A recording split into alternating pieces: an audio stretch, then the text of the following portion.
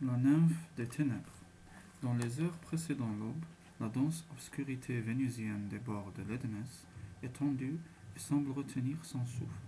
Comme consciente d'un danger sans nom qui rôde, les formes qui meuvent, se meuvent lourdement dans les ténèbres ne sont pas des formes du jour. Jamais le soleil n'a brillé sur certaines de ces silhouettes difformes. Et mieux vaut ne pas parler de ce qui se passe dans le noir. La patrouille elle-même ne s'aventure pas de ce côté quand les lumières sont éteintes, quand les heures entre minuit et le lever du jour échappent à la loi. Si de sombres méfaits s'y accomplissent, la patrouille n'en sait jamais rien, on ne veut pas le savoir. Des puissances se déplacent dans la nuit, au bord de l'eau, devant lesquelles même la patrouille s'incline très bas. Dans cette noirceur haletante, le long d'une rue sous laquelle murmuraient les eaux, Northwest Smith marchait lentement. Aucun homme prudent ne s'aventurait après minuit au bord des eaux de l'Edness, à moins d'y avoir une affaire urgente, mais avoir l'allure flâneuse qui faisait silencieusement progresser Smith, dans la nuit, on aurait pu le prendre pour un simple badaud. Les bords de l'Edness ne lui étaient pas étrangers, il connaissait le danger qui l'enveloppait, tandis qu'il se promenait si lentement, et sous les paupières plissées, ses yeux incolores étaient aussi aigus que de sondes d'acier perçant les ténèbres. De temps en temps, il croisait une ombre informe qui s'écartait pour le laisser passer. Cela aurait pu n'être qu'une ombre. Ses yeux sans couleur ne sciaient pas. Il continuait de marcher, prudent et sur ses gardes.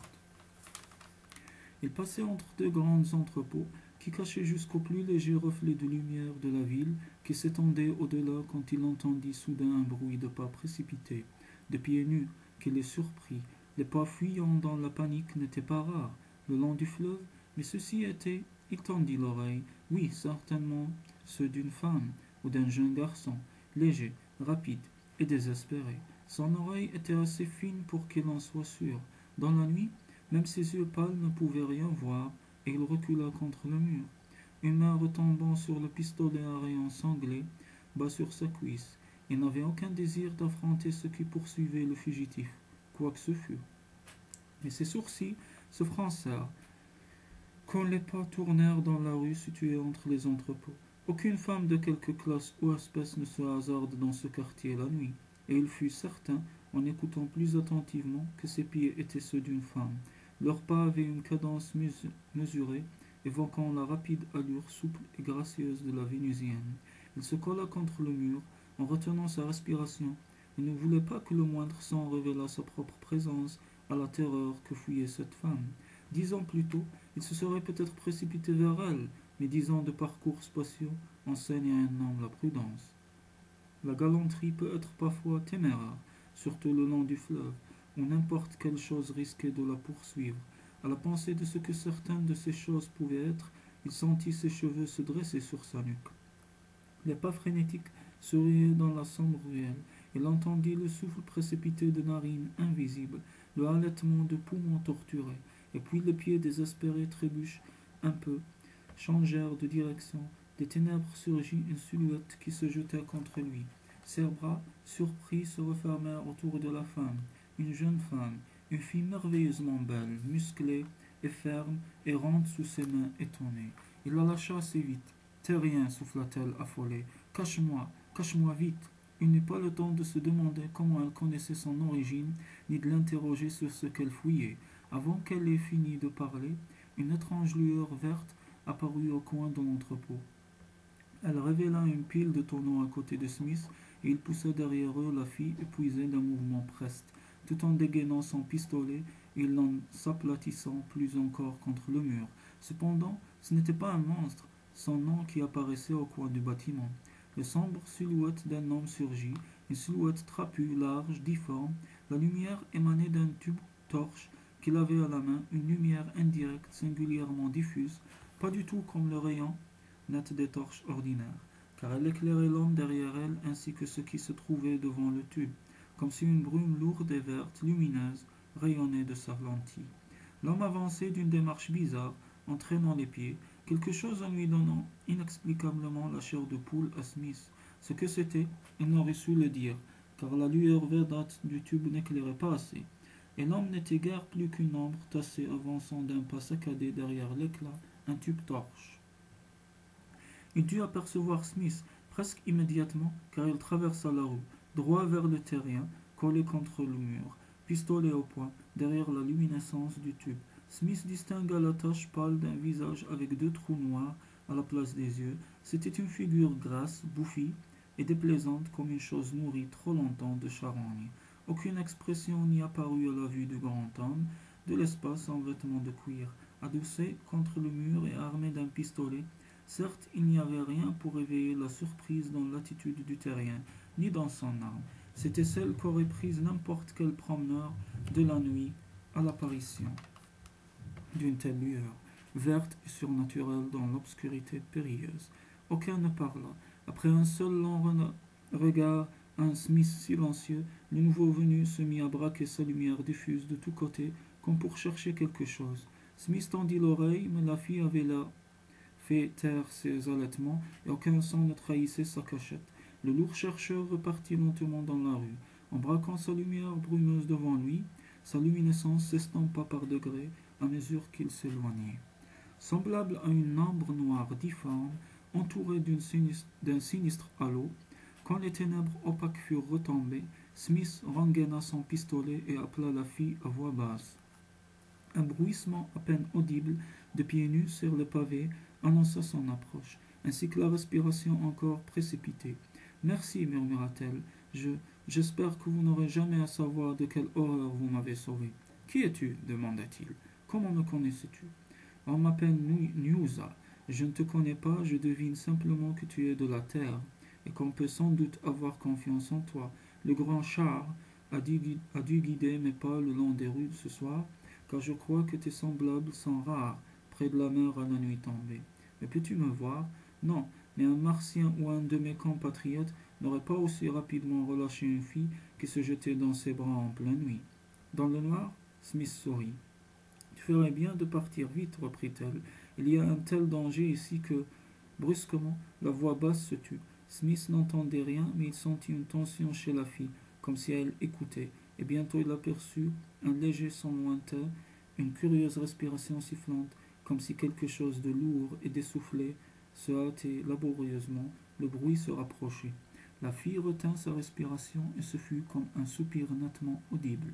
Vite, souffla-t-elle. Ah, vite, viens. Elle le prit par le bras, le tira dans la direction qu'avait prise le chercheur noir trapu. Plus vite, et ses mains anxieuses le tirèrent plus fort, le forcèrent à courir. Se sentant un peu ridicule, il hâta le pas dans la nuit. À longue enjambée souple, n'entendant rien que le doux martèlement de ses bottes et des pieds nus de la fille, et loin derrière eux, la respiration sifflante qui devenait plus étouffée. Deux fois, elle le poussa dans quelques nouvelles ruelles. Enfin, enfin ils s'arrêtèrent et elle tira une porte invisible. Ils coururent dans un passage si étroit que les larges épaules de Smith frôlaient les murs. Les lieux sentaient le poison, le bois pourri, le sel de la mer. Le sol s'éleva en large marche basse et ils franchirent une autre porte. Alors la fille le tira par le bras et poussa un soupir de soulagement. Nous ne risquons rien maintenant. Attends. Il entendit la porte se fermer derrière eux et des pieds légers glisser sur un plancher. Soulève-moi, dit-elle au bout d'un moment. Je ne peux pas atteindre la lumière. Des doigts frais lui, touchèrent le cou. Tâtonnant dans l'ombre, il trouva sa taille la souleva aussi haut qu'il le put. Entre ses mains, la taille était souple, musclée, mince comme un roseau. Il entendit au-dessus de lui un tâtonnement hésitant, et puis brusquement une lumière éblouissante jaillit. Il jura tout bas et recula d'un bond laissant retomber ses mains, car il s'était attendu à voir un corps de jeune fille près de son visage. Il n'y avait rien. Ses mains avaient saisi rien. Il avait soulevé un souple rien. Il entendit retomber un corps matériel sur le plancher, un petit cri de surprise et de douleur. Mais il ne voyait toujours rien et il recula encore d'un pas devant une main hésitante vers ses yeux et marmonnant un jurant martien, car il avait beau chercher et regarder, il ne voyait personne d'autre que lui dans la petite pièce nue que la lumière révélait. Cependant, la voix de la fille parlait, dans le vide. Mais pourquoi? Ah, je comprends. Il y eut un petit rire cristallin. Tu n'as jamais entendu parler de Niusa? La répétition du nom réveilla un lointain écho dans la mémoire du terrien. Quelque part, derrière moi, il avait entendu prononcer ce nom. Où et par qui? Il ne s'en souvenait pas, mais cela évoquait pour lui une nuit nébuleuse de péril et d'inconnu. Il fut soudain heureux d'avoir son pistolet à son côté, et une lueur plus attentive brilla dans les yeux pâles qui examinaient la minuscule pièce. Non, dit-il, je n'ai jamais entendu ce nom. Je suis Niusa. Mais, mais où es-tu? Il rit encore, un léger ruissellement joyeux, un rire doux comme du miel, de cette voix traditionnellement adorable des Vénusiennes. Ici, je suis invisible aux yeux des hommes. Je suis né ainsi. Je suis né, dit-elle, et la voix rieuse devint grave, presque solennelle, d'un étrange accouplement. Terrien, ma mère était vénusienne, mais mon père, mon père était ténèbres. Je ne peux pas l'expliquer, mais à cause de ce sang du noir en moi, je suis invisible, et à cause de cela, je, je ne suis pas libre. Pourquoi? Qu'est-ce qui te retient captive? Comment peut-on emprisonner une invisibilité? Les noves. Sa voix n'était plus qu'un souffle, et encore une fois, à ce nom étrange, un malaise sans nom fit frémir la mémoire de Smith. Quelque part, il avait déjà entendu ce nom, et le souvenir qu'il évoquait était trop nébuleux pour être formulé mais menaçant. Le chuchotement de Niusa persistait tout bas, près de son épaule. C'était une sensation, singulière, irréelle, d'être seul dans une pièce nue avec le doux murmure d'une fille aux oreilles. Les Noves. Ils vivent sous terre. Ils sont les derniers survivants d'une très ancienne race. Ils sont les prêtres qui adorent la chose, qui était mon père, l'obscurité. Ils me gardent prisonnière pour des raisons à eux.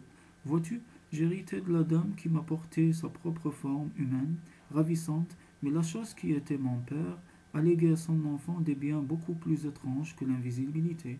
Je suis d'une couleur hors de la portée des yeux humains, et j'ai mes entrées dans dans d'autres pays que celui-ci, d'étranges pays, merveilleux et lointains. Mais ah, si diablement proches, si seulement je pouvais franchir les barreaux que les noves ont dressés pour m'enfermer. Car ils ont besoin de moi pour leur sombre rite, et je dois rester ici, prisonnière dans ce monde chaud et boueux, qui est tout ce qu'eux-mêmes pourront jamais connaître. Ils ont une lumière, tu l'as vu, la lueur verte dans les mains du nove qui me poursuivait cette nuit dans les ténèbres, une lumière qui me rend visible aux yeux humains. Quelque chose dans sa couleur se combine avec cette couleur étrange qui est la mienne, pour produire une teinte qui entre dans la gamme que l'œil humain peut capter. S'il m'avait trouvé jusqu'au... J'aurais été puni sévèrement, parce que je me suis enfui ce soir, et les châtiments des nobles ne sont pas plaisants. Pour s'assurer que je ne leur échappe pas, ils ont chargé un gardien de suivre mes pas. Cette chose dont la respiration sifflait derrière moi cette nuit, Dolph, il est né de quelque effroyable union du matériel et de l'immatériel. Il est en partie élément, en partie animal. Je ne peux pas te l'expliquer, et il est brumeux, nébuleux, mais très réel. Comme tu l'aurais découvert, s'il nous avait attrapés, il a un goût pour le son humain qui le rend inappréciable. Mais moi, je ne risque rien car je ne suis qu'à moitié humaine et les noves eh bien, ils ne sont pas non plus entièrement humains. Il, elle s'interrompit brusquement derrière la porte. Louis Finn de Smith perçut un piétinement de pieds sur le sol et entre les fissures le reniflement très net d'une respiration sifflante. Les pieds nus de Nusa glissèrent rapidement sur le plancher et contre la porte, il entendit une série de sifflements modulés sur un ton plus clair que le son émis par le grand Dolph.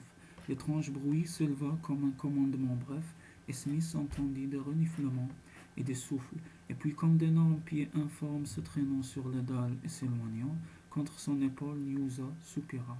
Ça a marché cette fois. Par moments, je peux lui donner des ordres, grâce à la force de mon père qui est en moi. Les nobles ne le savent pas. Curieux, n'est-ce pas? Ils n'ont jamais l'air de se souvenir que j'ai hérité de leur Dieu bien plus que mon invisibilité et mon accès à d'autres mondes. Ils me punissent et m'enferment et me commandent. Je suis à leur service comme quelques danseuses de temple, moi qui suis à moitié divine. Je crois, oui, je crois qu'un jour les portes s'ouvriront à mon propre commandement, et alors j'irai dans ces autres mondes. Je me demande, est-ce que je pourrais le faire maintenant? La voix s'étouffa, ne fut plus qu'un murmure inaudible. Smith comprit qu'elle avait oublié sa présence en prenant soudain conscience de ses propres possibilités, et de nouveau il éprouva ce vague malaise. Elle était à demi humaine, à demi seulement. Oui, qui pouvait savoir quelle étrange faculté elle possédait, innée et sans aucune origine humaine, des facultés qui pourraient un jour s'épanouir en. Il ne trouvait pas de mots pour formuler ce qu'il pensait, mais il espéra ne pas être là le jour où les noves iraient trop loin avec elle. Des pas hésitants à côté de lui ramenèrent brusquement son attention sur le présent. Elle s'éloignait pas à pas, ils entendaient le son de ses pieds nus sur le plancher. Ils avaient presque atteint le mur d'en face, lentement, et puis soudain, ses pas hésitants coururent de plus en plus vite. En s'éloignant, aucune porte ne s'était ouverte. Il n'y avait aucune ouverture dans les murs, mais les pieds nus de Nusa s'éloignaient en courant. Il eut brièvement conscience de l'immensité des dimensions au-delà de trois nôtres, des distances où pouvaient galoper les pieds nus d'une fille en violant avec dédain toutes les lois qui le retenaient sur place. Lui, dans le lointain, il entendit ses pas se, se remettre à hésiter. Il crut percevoir un bruit étouffé de poings qui frappaient en vain, l'écho très diffus d'un sanglot. Et puis, lentement, le bruit de pas revint. Il croyait presque voir une tête basse et des épaules voûtées par le désespoir à mesure que s'approchaient les pieds nus traînant, de plus en plus près, jusqu'à ce qu'il revienne dans la pièce, tout à côté de lui. Elle murmura tristement Pas encore, je ne suis pas je suis encore jamais allé aussi loin, mais la voie est toujours barrée. Les neufs sont trop forts pour le moment, mais je sais maintenant, je sais, je suis la fille d'un dieu et je suis forte aussi. Plus jamais je ne m'enfuirai lorsqu'un neuf tentera de me poursuivre, ni ne craindrai d'être suivi par Dolph. Je suis la fée du ténébreux. Ils le sauront. Il, brusquement, sur sa voix exubérante, tomba un moment d'obscurité qui trancha ses mots comme un coup de couteau. Cela ne dura qu'un instant, et quand la lumière revint, un étrange flot de luminescence rosée se répandit dans la pièce et s'éteignit. Comme si une vague de couleurs était passée en ruisselant, Niusa soupira. C'est ce que j'ai fui, confia-t-elle. Je n'en ai plus peur, mais je n'aime pas ça. Il vaut mieux que tu t'en ailles, ou plutôt non, car Dolph garde toujours la porte par laquelle je suis entré. Attends, laisse-moi réfléchir. Un moment de silence, pendant que la dernière lueur rosée disparaissait, pour être suivie d'un nouveau flot de couleurs qui s'évanouit à son tour, trois fois. Smith vit la marée de lumière rose envahir la pièce et refluer avant qu'il sente sur son bras, là, la main de Newsa et entende sa voix murmurant dans le vide. Viens, je dois te cacher quelque part pendant que j'accomplis mon rite. Cette couleur est le signal du commencement des rites, l'appel des noves exigeant ma présence. Tu ne peux pas t'enfuir avant qu'ils rappellent Dolph, car je ne pourrai te guider vers une porte sans qu'ils sentent ma présence et nous suivent. Non, tu dois te cacher, te cacher et me regarder danser. Tu aimerais cela? Un spectacle qu'aucun œil entièrement humain n'a jamais vu.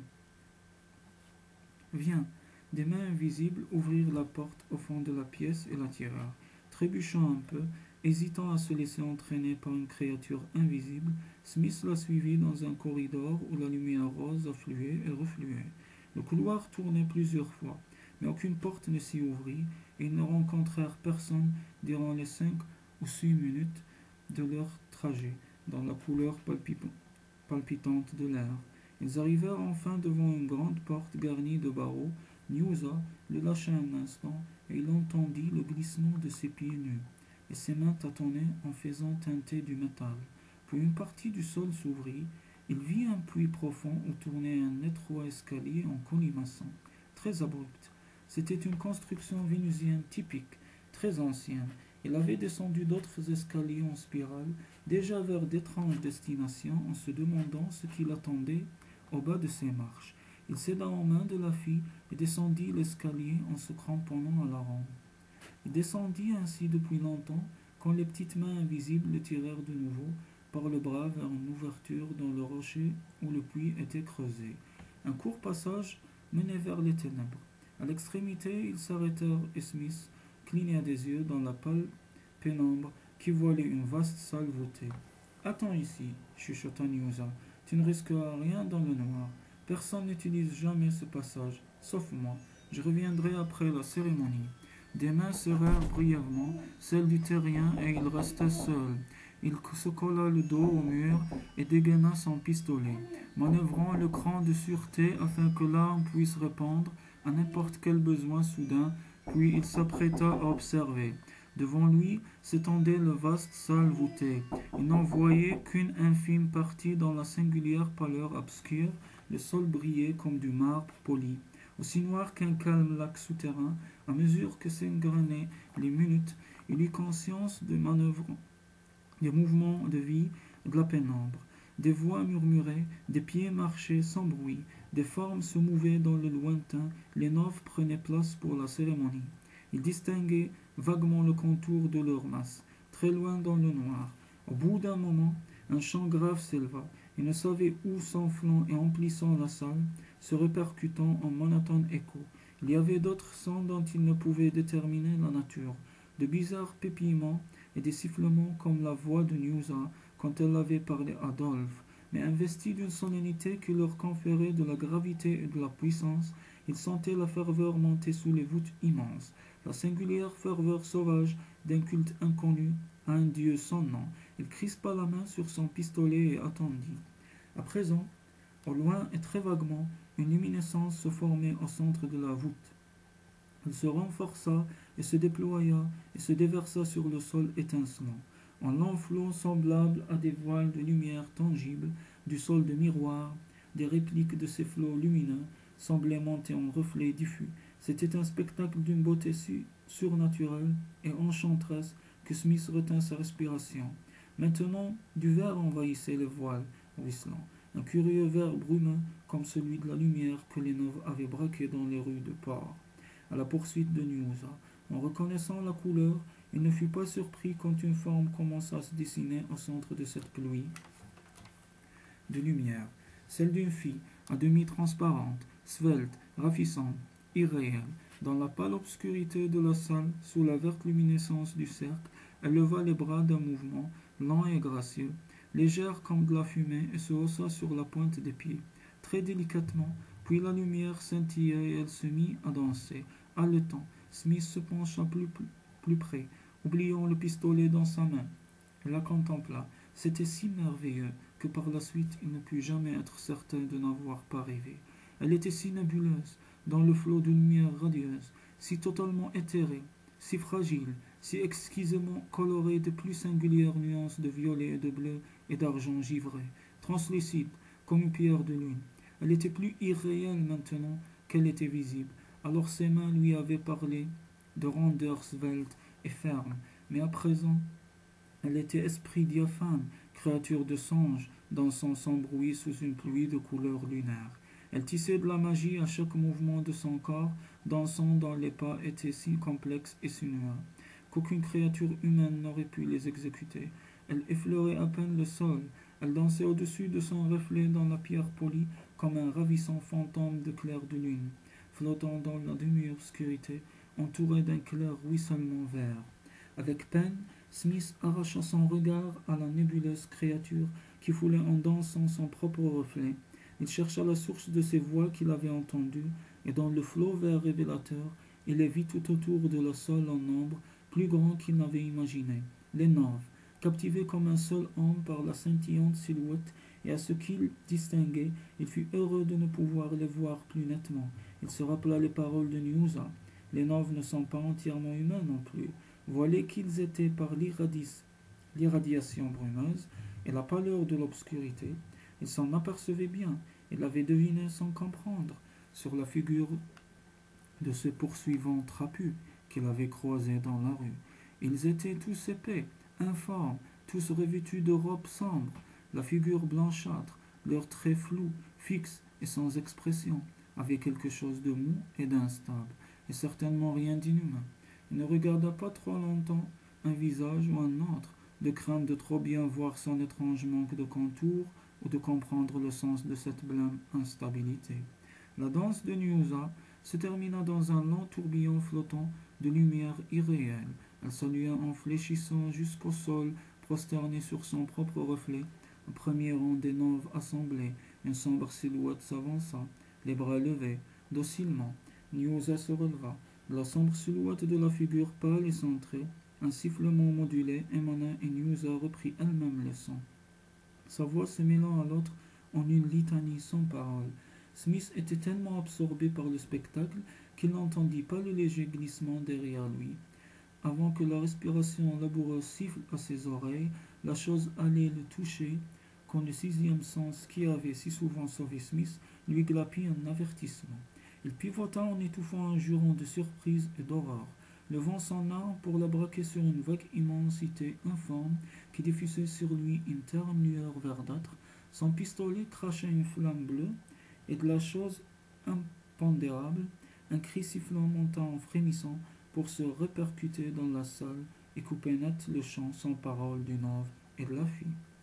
La sombre masse de Dolph vacilla et tomba sur Smith en l'étouffant. Elle le cloua au sol sous un poids fantastique qui n'était qu'à moitié réel, mais qui lui emplissait les narines. Il lui semblait presque respirer la substance de Dolph, comme un brouillard épais, aveuglé, haletant. Il lutta contre la chose curieusement nébuleuse qui l'étouffait, comprenant qu'il n'avait que quelques secondes pour se libérer, car le cri de Dolph allait amener les noves d'un instant à l'autre. Mais en dépit de tous ses efforts, il ne pouvait se dégager, et quelque chose d'indescriptible et de nauséeux tentait de le prendre à la gorge. Quand il sentit cet attendement, il redoubla d'efforts, convulsivement, et après un moment d'affolement, il se retrouvait libre, chancelant, respirant un grand coup, l'air pur, ses yeux fut cherchant dans le noir quelle espèce d'horreur il avait affronté. Il ne voyait rien que cette lueur terne, semblable à l'œil unique de cette masse impondérable qui se confondait avec les ténèbres. Dolph revenait à la charge. Smith entendait traîner de grands pieds et la respiration sifflante s'accéléra. Derrière lui, les neufs se mirent à crier, à courir, et couvrant ce tumulte, il y avait le grand appel clair de Newsa. Glapissant, quelque chose dans une langue sans parole, Dolph était sur lui, ce tentacule révoltant, invisible, cherchant encore sa gorge. Il repoussa de toutes ses forces la masse élastique et son pistolet flamboya de nouveau d'un bleu aveuglant dans le noir, droit au centre de la noirceur instable de Dolph. Il sentit la masse du monstre à peine entrevue tressauter convulsivement. Un grand cri sifflant s'éleva aigu et douloureux, et l'organe suceur lâcha sa gorge. La vague lueur s'affaiblit dans la brume de la chose, puis s'éteignit. Il y eut comme une bouffée d'obscurité qui s'y dissolvait autour de Smith. Dans un néant brumeux, et la forme sombre qui avait été Dolph disparut. À demi-élément, il était retourné dans le néant en mourant. Smith aspira profondément et se retourna pour faire face au premier des Nord. Ils étaient presque sur lui et leur nombre paraissait écrasant. Mais son pistolet à rayon décrivit son grand arc de destruction, tandis qu'il grouillait près d'une dizaine de silhouettes noires, trapues, dures, tombaient sous cette faux mortelle avant que lui-même ne s'écroule sous le nombre. Des doigts mous lui arrachèrent le pistolet. Il ne fit guère d'effort pour le conserver, car il se rappela le petit lance-flamme à canon court dans le holster sous son aisselle, et il n'avait guère envie que le découvre dans un corps à corps. On fut alors relevé, sans ménagement, et poussé vers le pâle luminescence qui tenait toujours Newsa en son cœur, comme une prisonnière translucide dans une cage de lumière. Un peu étourdi par la rapidité des événements, Smith avança en chancelant. Autour, entouré par les nobles, il les dominait de la tête et des épaules, il détournait les yeux, il s'efforça de ne pas frémir, de ne pas s'arracher aux mains molles d'un blanc de poisson mort qui le poussait, de ne pas regarder de trop près les figures informes. Non, ce n'est pas des hommes, il le savait plus que jamais. Maintenant qu'il voyait de près ces faces bouffies et centrées qui l'entouraient, au bord du cercle de lumière qui abritait Nyusa, le neuf qui avait chanté le premier se tenait à l'écart, contemplant impassiblement le grand prisonnier, qui s'avançait parmi la foule de ses ravisseurs. Il y avait de l'autorité chez ce neuf, un air de calme royal, il était blanc comme la mort, lumineux comme un cadavre, dans les reflets lunaires de l'éclairage. Ils poussèrent Smith devant lui, après un seul coup d'œil à cette face immobile, anonyme, pâle comme un verre blanc, le terrien ne regarda plus et se tourna vers Niusa, derrière le nord, et ce qu'il vit lui donna un peu d'espoir. Il n'y avait aucune peur dans son attitude. Elle se tenait droite et calme, attentive, et il sentit en elle une réserve puissante, Elle avait bien l'air de la fille d'un dieu, là debout dans le flot de lumière chatoyante, translucide, comme quelque immortel. Le chef des nobles parla d'une voix qui venait du plus profond de lui. Bien que son visage centré restait immobile, comment es-tu venu là? C'est moi qui l'ai amené, dit posément. Le noble se retourna vivement. Sa forme trapue exprimant la stupéfaction. Toi, tu as amené un étranger pour être témoin de l'adoration du Dieu que je sers. Comment as-tu osé?